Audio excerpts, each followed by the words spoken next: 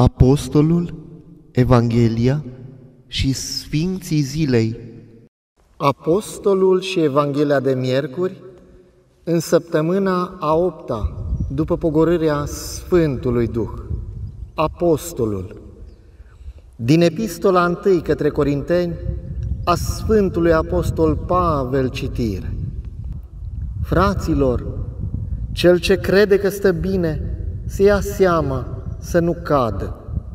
Nu va cuprins ispită care să fi fost peste puterea omenească. Dar credincios este Dumnezeu, El nu va îngădui să fiți ispitiți mai mult decât puteți, ci odată cu ispita va aduce și scăparea din ea, ca să puteți răbda. De aceea, iubiții mei, fugiți de închinarea la idoli. Ca unor înțelepți vă vorbesc. Judecați voi ce vă spun. Paharul binecuvântării pe care îl binecuvântăm nu este oare împărtășirea cu sângele lui Hristos? Pâinea pe care o frângem nu este oare împărtășirea cu trupul lui Hristos?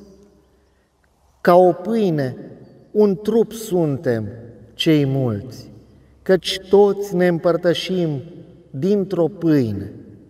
Priviți pe Israel după trup, cei care mănâncă jerfele, nu sunt ei oare părtași altarului? Deci ce spun eu? Că ce s-a jerfit pentru idol e ceva? Sau idolul este ceva? Ci zic că cele ce jerfesc neamurile jerfesc demonilor și nu lui Dumnezeu.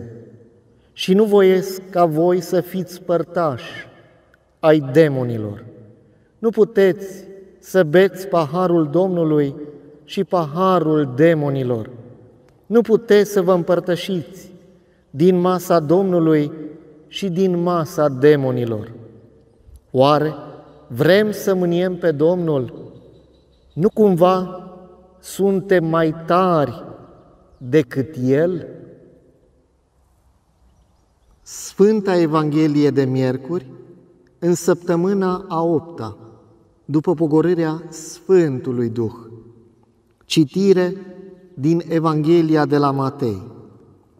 În vremea aceea, Iisus a poruncit ucenicilor săi să nu spună nimănui că El este Hristos de atunci a început Isus să spună ucenicilor săi că trebuie să meargă în Ierusalim și să pătimească multe, de la bătrâni, de la căpetenile preoților și de la cărturari, și să fie omorât, iar a treia zi să învieze.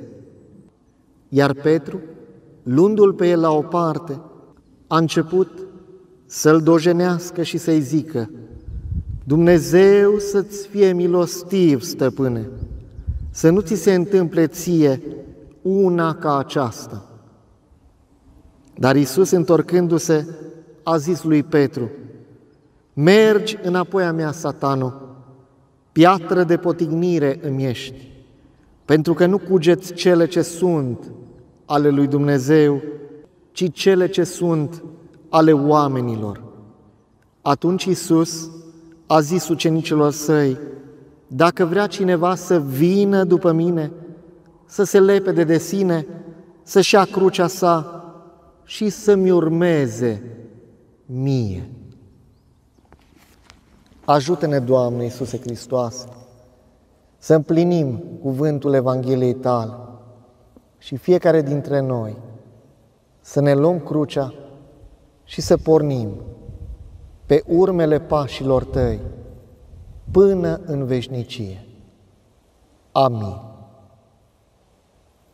Sfinții zilei de 14 august Înainte prăznuirea adormirii Maicii Domnului, Sfântul proroc Miheia, cinstirea icoanei Maicii Domnului din Narva, cinstirea icoanei Maicii Domnului sfătuitoarea. Cu ale lor sfinte rugăciuni, Doamne Iisuse Hristoase, miluiește-ne și ne mântuiește pe noi. Amin.